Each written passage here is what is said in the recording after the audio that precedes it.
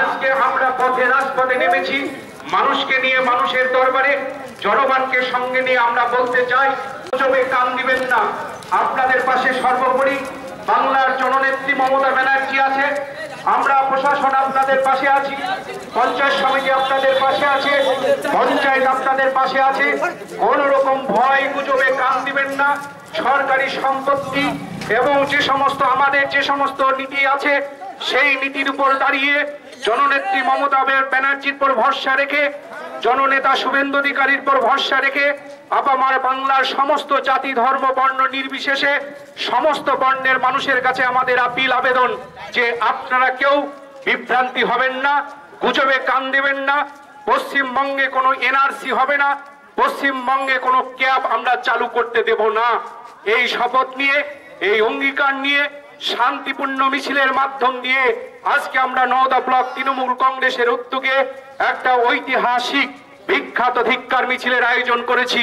সেই মিছিলে কর্মীদেরকে বলছি আপামার সমস্ত আইন নিজের হাতে নেবে না, আমাদের আন্দোলন থাকবে, আমাদের স্লোগান থাকবে, নো এনআরসি, নো কাপ, এই বাংলায় আমরা করতে দেব না। ডেঙ্গু সতর্কতা, সৌজন্যে প্রধান মধুপুর গ্রাম পঞ্চায়েত। কি কি করতে হবে তার পরামর্শ? পরিবেশ জঞ্জালমুক্ত করুন। জমে রাখা জল সপ্তাহে দুবার খালি করে দিন। খোলা পাত্রে জল জমতে দেবেন না।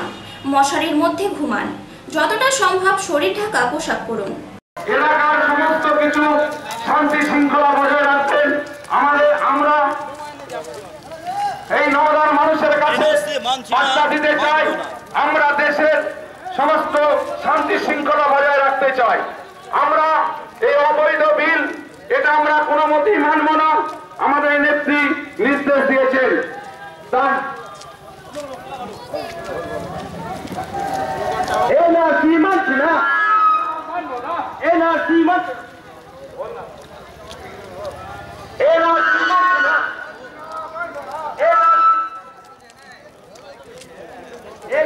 মানছি না এনআরসি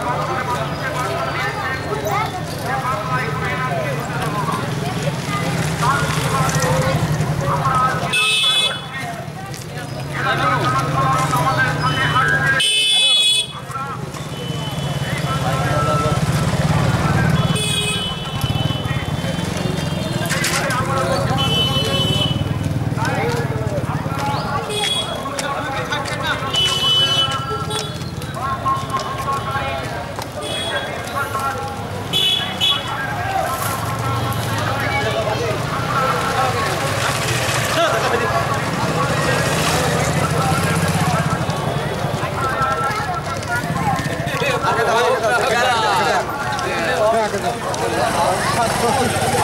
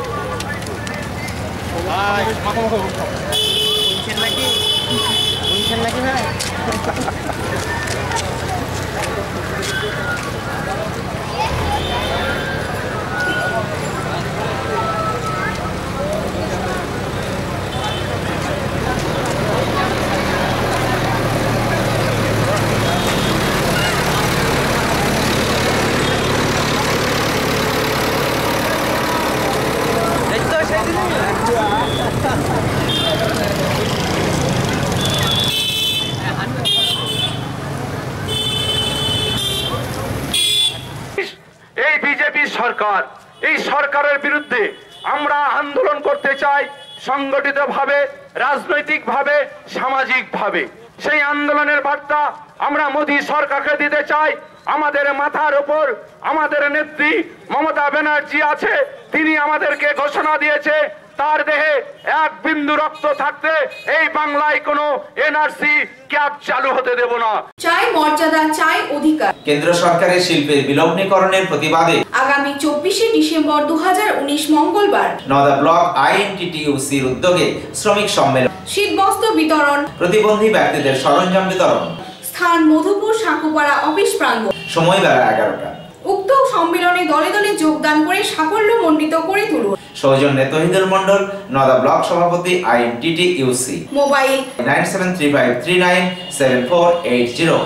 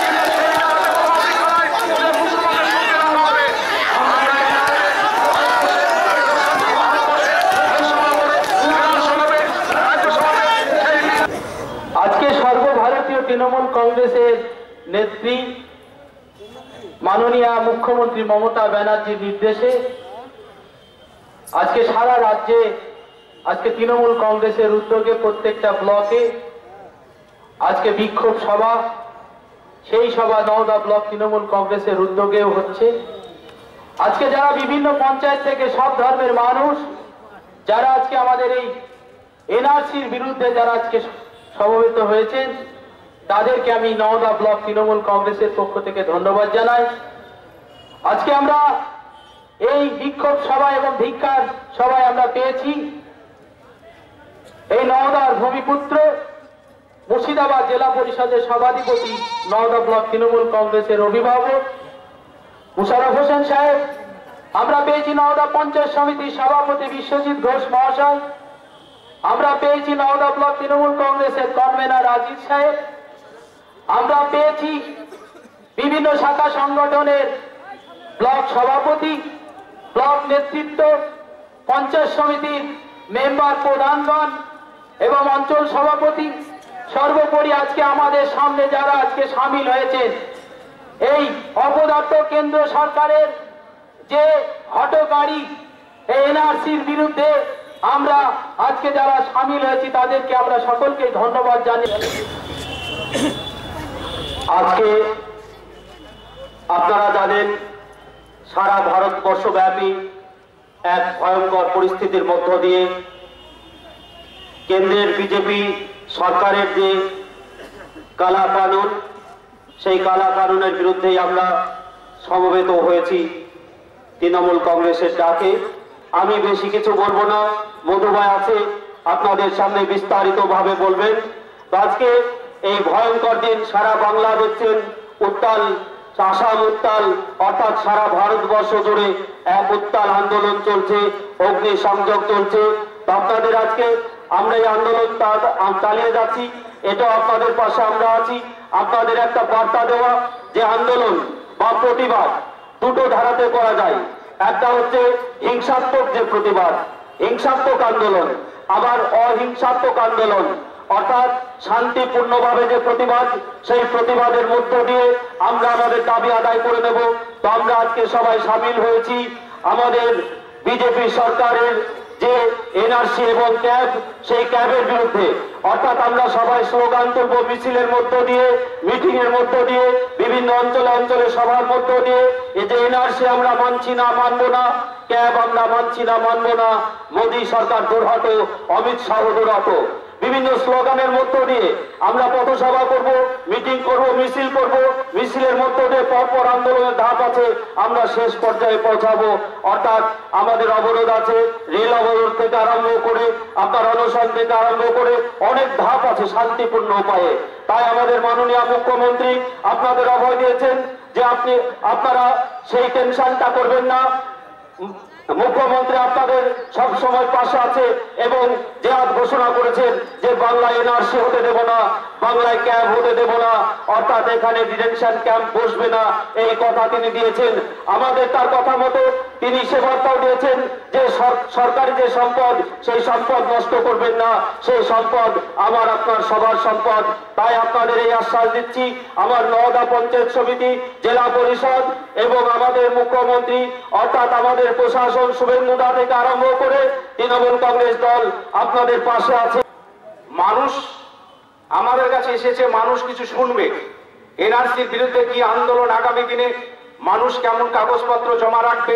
আগামী দিনে মানুষের কি ভূমিকা হবে? সেটা মানুষদেরকে বলার জন্য আমরা এখানে আহ্বান করেছি, ডেকেছি। তাই আপনাদেরকে বলছি, আপনারা কেউ আইন নিজের হাতে তুলে ফেলবেন না অজাদা কেউ বিশৃঙ্খলা করবেন না, এলাকায় শান্তি শৃঙ্খলা বজায় রাখবেন, প্রশাসনের দায়িত্বে আমরা আছি।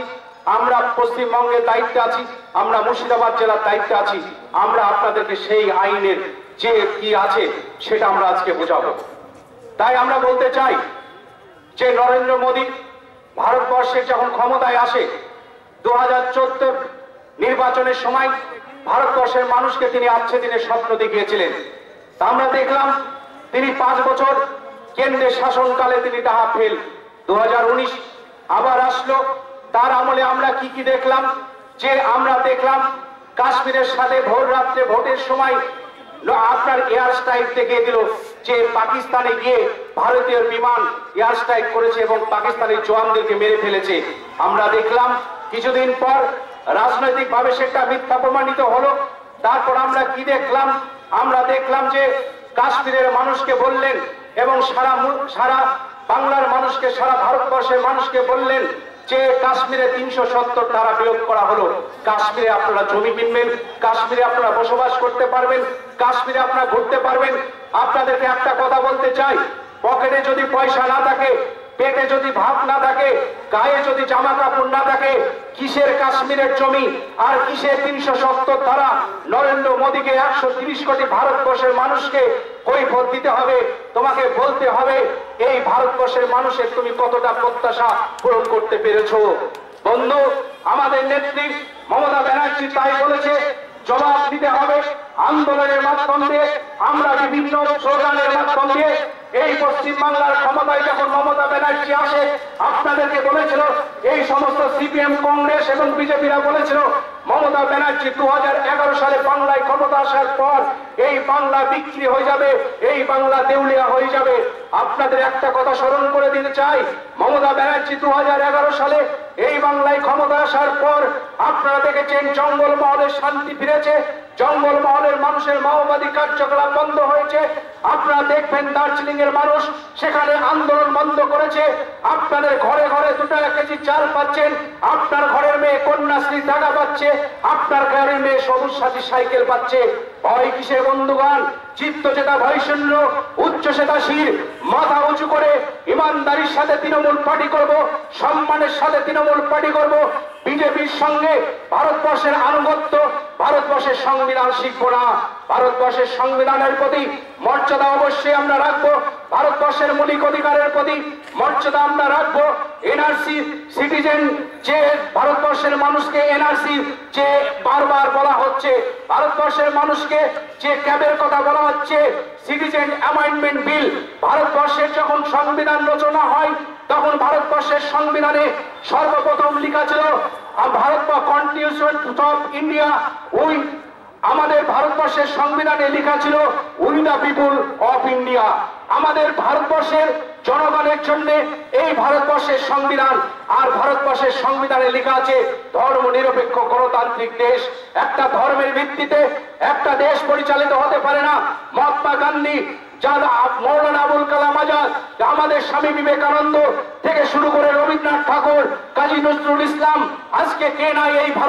সংবিধানের প্রতি শ্রদ্ধা আপনাদেরকে একটা কথা বলতে চাই, স্বামী বিবেকানন্দ একদিন শিকাগো ধর্মসভায় আঠারোশো তিপ্পান্ন সালে তিনি গিয়েছিলেন।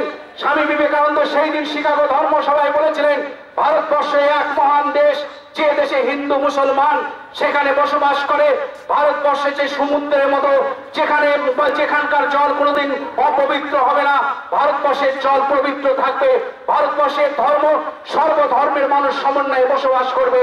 আমরা কি দেখলাম? কিছুদিন আগে আমরা দেখলাম যে পার্লামেন্টে সিটিজেন অ্যামেন্ডমেন্ট বিলতে আপনারা দেখলাম যে আপনারা একটা শ্রেণির মানুষকে টার্গেট করা হচ্ছে, একটা শ্রেণির মানুষকে বলা হচ্ছে যেখানে বৌদ্ধ, যেখানে খ্রিস্টান, যেখানে পার্সি, যেখানে বিভিন্ন সম্প্রদায়ের মানুষকে নাগরিকত্ব দেওয়া হচ্ছে সেখানে কি হচ্ছে? মুসলিমদেরকে নাগরিকত্ব দেওয়া হবে না। বন্ধুগণ, ভালো কথা।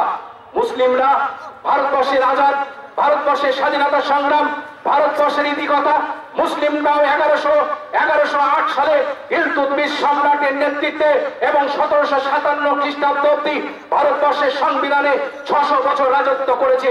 মুসলিমদেরকে নতুন করে নাগরিকত্ব প্রমাণ দিতে হবে না।